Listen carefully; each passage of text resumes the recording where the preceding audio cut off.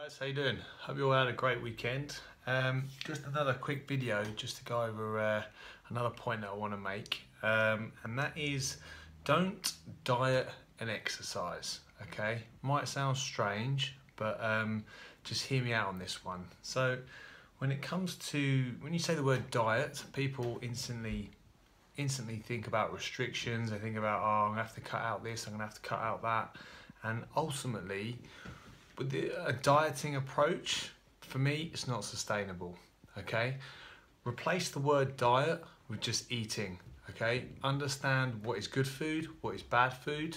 Okay, educate yourself on that and just eat good, healthy food, guys. If you stick to that 80% of the time, have a few naughty treats every now and again, you're going to be in a good place.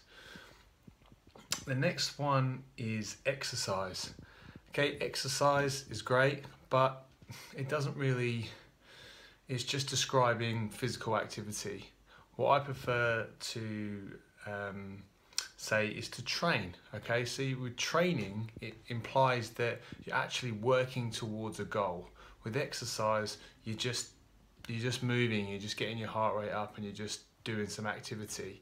With training, you're actually doing something with a purpose you you have a goal in mind and you're working hard towards that goal okay? So kick off this week forget about diet and exercise and think about eating and training okay? Eating well and training towards your goal okay? What is your goal? What are you trying to achieve? Figure that out okay? Forget diet and exercise and just eat and train hard guys. Have a great week. Cheers